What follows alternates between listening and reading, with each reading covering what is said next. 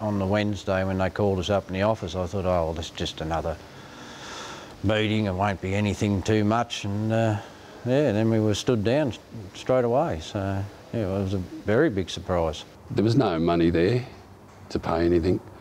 Uh, blokes were working for their last week and never got paid for it. I had uh, annual leave here. Well, they couldn't pay that. All your sick pay and um, your uh, long service leave and all that, I mean, it all adds up to quite a, substantial amount of money, which um, would have been really handy to have on that day. I mean, it gives you, the, gives you the time to go and then look for another job instead of being told you're getting nothing and you haven't got a job. When we all came to work one day on the 16th of February to be called into a meeting, not to be allowed into the factory, and me and 240 people walked out of that factory and obtained nothing. The company was broke, had no funds, none at all, and couldn't pay us any percentage whatsoever of what we were entitled to, what we'd worked hard for, and what we thought if ever we did have to move on, we would have to secure us some sort of a future going forward. When a company goes broke and can't pay its employees' entitlements, the government has a safety net scheme called the General Employee Entitlements and Redundancy Scheme, known as GEERS.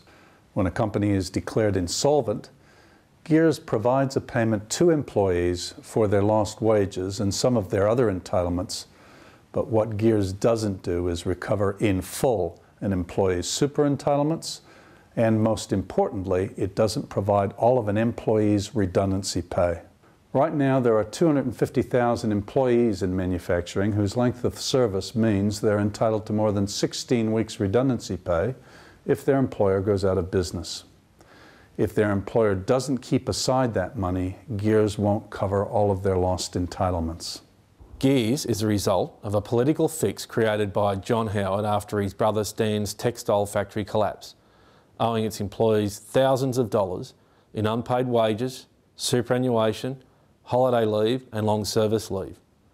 GEERS was never supposed to be a long-term solution, and the longer it's gone on, the more problems it has created. It lets employers cover their obligations with millions of dollars of taxpayer funding and it leaves employees tens of thousands of dollars out of pocket because while GEERS covers some entitlements, it leaves a gap, especially for long-serving employees. In the manufacturing industry, workers have been asking for a scheme that protects our entitlements in full. We believe it should be a universal scheme paid for by employers and not the government. The current laws dealing with company insolvency have several negative consequences for workers. Firstly, a business in trouble can set up a shell company and transfer its assets across so that workers have no one to sue for what they're owed. Secondly, when a business has closed and there are assets left, employees are not treated as secured creditors under the law, so banks and other lending agencies take the lion's share, if not the whole lot, leaving nothing for workers. And finally, where an employer has been setting money aside for annual leave, long service leave, and so on, the fact that GEERS will cover some of the entitlements has encouraged employers to dip into that money as an unsecured high-risk loan to get them through a difficult period. But if they don't make it through, that money is gone. This has been the case in dozens of workplaces over the past 10 years, including Ansett, and is exactly what happened at John Valves in Ballarat and DSI in Albury this year. When a company collapses without money to pay its workers, the time it takes for GEERS payments to be made and the fact that GEERS doesn't cover everything causes anguish and uncertainty on top of the shock for workers who have just lost their jobs. People had no money and no job and couldn't feed their families. They relied on other family members to and other agencies in town to supply food, to pay electricity bills. There was children that couldn't go on excursions.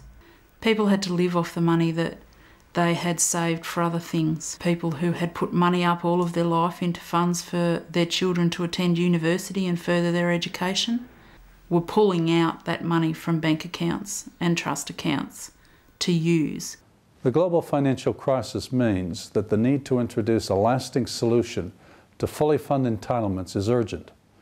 In the last 12 months, more than 50,000 manufacturing workers have lost their jobs, and there has been a 40% increase in the number of firms that have been placed in administration.